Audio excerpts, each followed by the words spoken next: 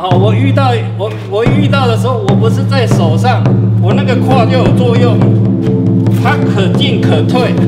你有那个开又含又拧的东西，对不对？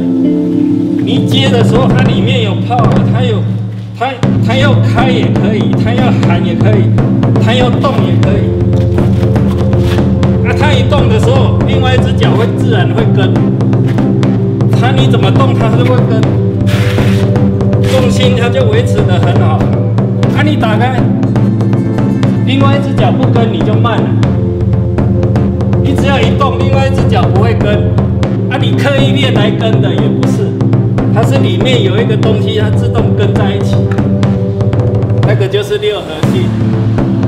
啊，气的变化，首先你要先从这一节的气要先能练下来，后面再开。它把这个胯越扯越开以后。前面越来越寒，它越来越爆，两个胯它越来越爆。啊，你抱住，你还要拧得开。要开胯之前，你要先会守胯。你胯守不住，你去练开胯那是不行。跟内家拳，你要开胯，还有个前提条件就是说，你上面的气要能练下来。你你练的开胯，对你的身体的元气啊，你。这个丹田的元气比较有帮助。你如果你这个锁骨以下的气下不来，哦，你就练开胯的话，对你身对你的身体是不好的。因为你胯平常就把胯打开开的，哦，或是你身体在动的时候，像你你身体在动的时候，你这个脚跟着动，大腿跟着动，你刻意去练把这个胯打开，它有一个。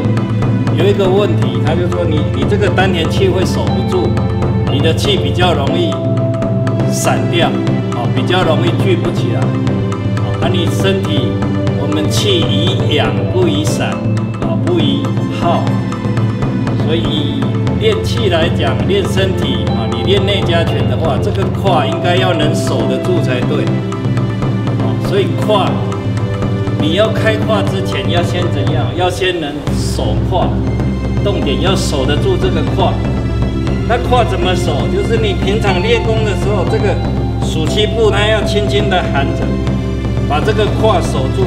所以它它轻轻的含着，你的属膝部轻轻的往内含含一下，这样你的你这个元气比较不会浮逆上来，比较不会反逆，啊，反逆的也比较少。而我们一般人，你气本来就是一直上来在用的，啊，你又可以把胯打开开，或是把屁股推出去，推得很出去，啊，把胯打得很开，那你的气就是更浮，火气更旺。为什么练久了，哎，怎么会火气那么旺啊？火气旺有什么？啊，会痔疮啊，啊，会嘴巴会臭啊，啊，面红耳赤啊，或是练久了膝盖会痛啊。就是你这个元气守不住的现象，它一直都变成火比较旺哦。你不管练什么，你只要是这样，长期这样，就对你的内气会有危害哦。所以我们话又讲回来，要开胯之前，你要先会守胯。你胯守不住，你去练开胯那是不行的哦。所以它有个先决条件，你要先，你这个气从锁骨这边的气。要先能让它能下来，那那怎么样能下来？你首先你要先会展背，这两片要先往两侧要展得开。你不管练什么，它都平常都一直在开。你透过啊五行拳的锻炼，或是八卦掌，或是太极的站桩，透过这些训练，一直在把背展开，把悬顶拉高。那你前面舌头卷起来，你前面的气慢慢就一直沉下去。你时间练越久，它就越沉。啊，你打套路，你打套路里面，它气有在沉，这样身体才会健康。哦，那你你这个腰胯它是含住的在打，啊，不能刻意去推去顶，这样都不行。刻意的去改变你骨盆的角度。有人说把这个骨盆往后翻，骨盆往后翻，啊，这样胯这样顶，好啊，这样。啊，你脊椎这边，这边它就脊椎就会拉直了，啊，就拉开了，这样，这样身体才会啊，功夫才会出来了，这样反而造成前面的气一直浮上来，火气越来越旺。时间久了对身体都很不好。你气一直浮起来，你就不沉啊。胯要先含得住，气下得来以后，你你的功夫慢慢有了以后，才开始练开胯。这个有含住以后，它这个胯哈，它同时有有在抱，它同时有在撑展。哦，这样展开跟跟背一样，它是一直展开。啊，展开同时往前抱抱住，往前抱住啊，同时它又拧开。它开胯是讲那个拧开，可是你气下不来，你刻意练这个是错的。对，你没有中定，你气下不来，你刻意打开，刻意这样，气下不来，永远下不来。你再怎么练，下焦还是无气。所以遇到你遇到危机的时候，一搭手，他身体都是抗住的。然后为什么？因为这个气下不去。为什么？因为你没有含住胯，啊，这个气。锁骨以下的气下不来。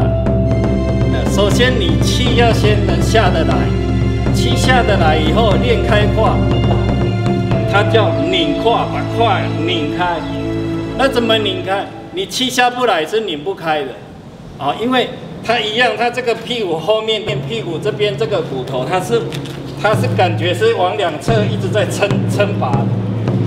哦，跟你的背一样，是往两侧在撑把，啊，撑到一个程度以后，你前面是一直含进去，含住，含住，啊，含住它含得起来，后面撑得开，再把它拧开，不是开前面，是开后面，啊，这时候的开胯它作用就很大了，它可收可放，可长可远，哦，它遇到，它遇到。哦，我遇到我我遇到的时候，我不是在手上，我那个胯就有作用，它可进可退。人家一进来，你可退，你进来进来，我这个退就很大，因为我的胯是有开的。它开不是打这样开啊，它不是这个开，它是那个前后，那个作用非常大，前后。它前后的时候，它又没有开，它防防备的很好，它没有打开让你来打，没有，它是防备很好，这个都防的防住的。到问题的时候，你这个脚它就会窜。啊，你你在动的时候，它这个进来，它另外一只脚进来，另外一只脚在动的时候，它就不会闪。你不管怎么走，它都它都有一个拧的动作。你有那个开又含又拧的东西，对不对？你接的时候，它里面有泡，它有它它要开也可以，它要含也可以，它要动也可以。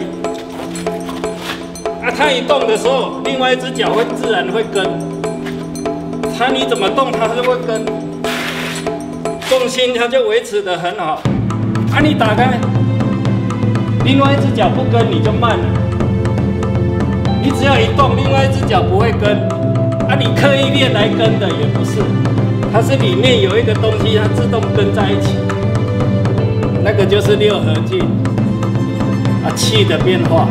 首先你要先从这一节的气要先能练下来，你刻意练这个，你这个气也会受影响。为什么？因为你这边的气调不下来，你就练这边，好，它你。你在你已经落入，你一出生以后你就落入那个气一直反逆好上来用的现象，还用多用快用少这样，啊你现在刻意练这里，啊你这个气就刻意刻意去使用它，就它不小心，它这个火气就更旺，所以你这样刻意练哦，周老师说这个要含，这个要开哦，我就这样练也不行，知道意思吗？你知道正确的，你就开始练这里是不行的。你练这里反逆到上来，就有可能反逆到头上了。所以重点是要从这里开始练。重点你你要展背展得开，旋顶旋得好，舌头卷得住。啊，很多要点要去注意，这样练练那个拳才气慢慢有下来。你再来练开胯，才有才是更往上走的那个道路。它是有步骤的，不能一开始就真着重那个胯要怎么顶，啊胯要怎么开，这个对内气都不是很好。你可能会比较火一点，但是。那个里面的那个里面那个自动结合的很好的那个东西，它出不来，因为它没有内气来做。你是刻意用身形的，你能用多久？你年纪你十年二十年，慢慢就败了，这里就败掉了。慢慢败掉以后，你这个慢慢也就开了，你也是抱不起来，除非你有把上面的气慢慢养下来。你那个开胯，的那个拧胯、拧胯或是撑胯，那里面含胯，它要有三个东西，先含，啊它才能开，啊开的同时它又更含，啊慢慢再有拧，把它拧开的东西，啊这是最高段是拧。那拧开，你可以拧开以后，那是很厉害，窜步就窜进去。或是你那有危急的时候，你一拉步就拉很久，拉很长。